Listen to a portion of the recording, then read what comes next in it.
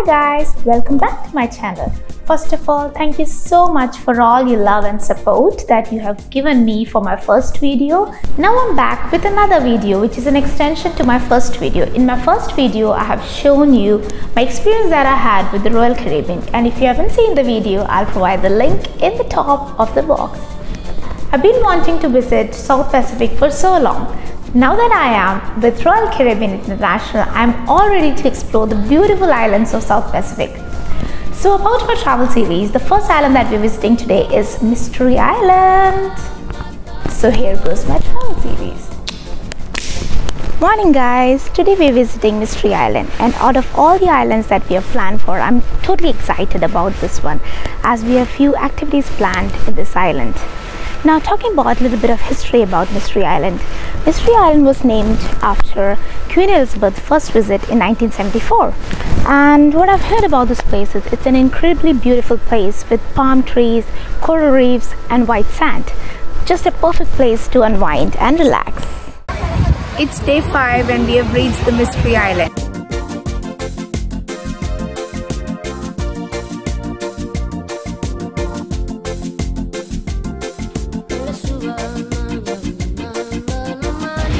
The Mystery Island is located in Vanuatu. That is a country name. It's a beautiful island and especially today the weather is so beautiful. It is a tiny tropical island situated 10 minutes away by boat from a big island called Aneityum. It is situated in Vanuatu. This island can be reached only via three means cruise ships, local boats, or small planes. It is so tiny that it takes only about 40 minutes to leisurely stroll around the island. Even though no one lives in this island, the local from nearby island will come to sell local food, local coconuts, lobsters and handicrafts. I found a cute little cafe which was made completely out of the bamboo and they served us with their local food.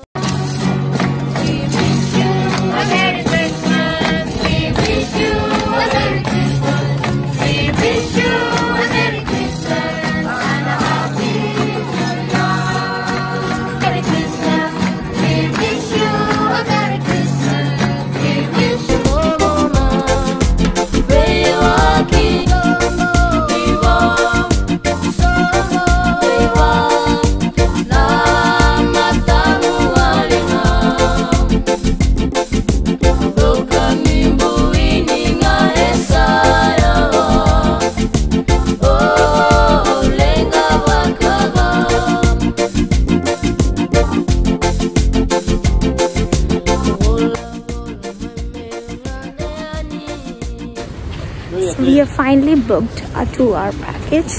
The package includes one hour a boat ride, another hour for snorkeling.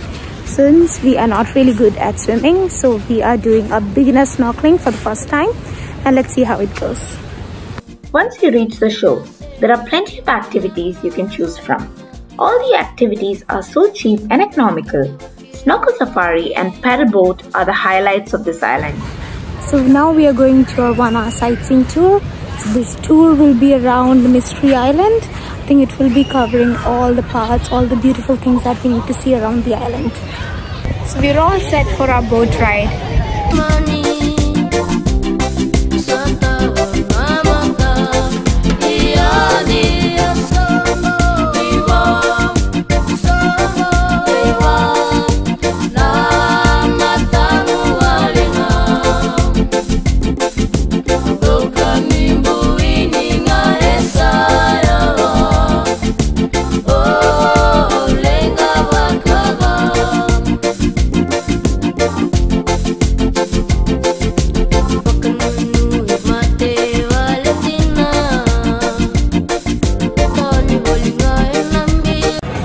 with our boat tour. Now we are going for the snorkeling. Snorkeling is the best way to see the mystery of this island. You can either buy your own snorkeling gear or rent on shore. There are different snorkeling packages you can choose from. Beginner snorkeling is the best for non-swimmers. But if your swimming skills are advanced and top-notch, I recommend you to try shark caves and advanced snorkeling islands.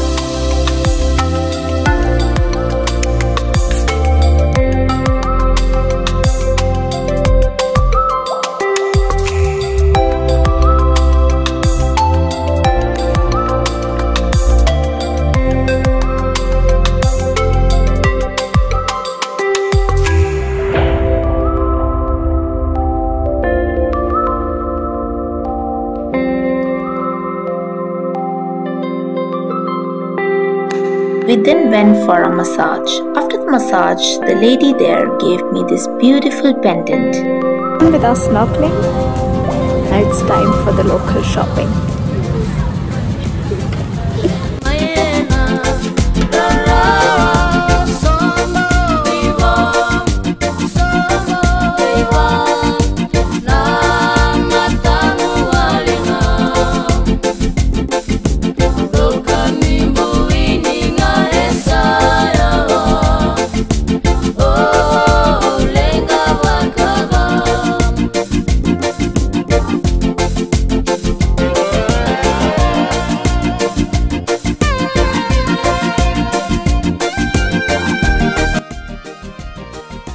Spending a whole day, I've realized that the locals here are lovely. They offer hair braiding, massage, markets, and great picture opportunities.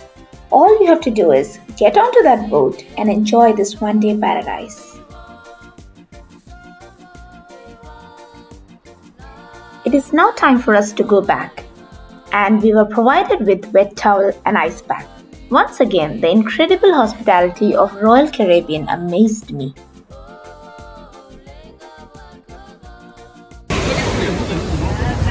Ciao for today. Now, something important for you guys to know how to get to the shore. At some ports, the ship will anchor offshore, and guests are taken to shore by small boats called tenders. Once the ship is anchored, there will be an official announcement, and the tender numbers will be called and displayed on the screen. You can collect your tender ticket numbers from service counter, and for those who have booked the shore excursions through cruise line, they will have a tender ticket number already in their tickets.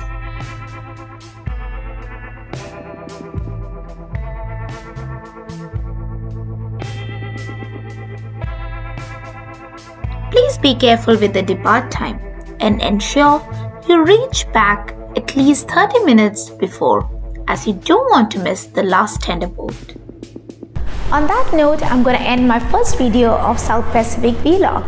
Let me know your thoughts in the comment section below. And if you like this video, please don't forget to like, share and subscribe. See you guys next time.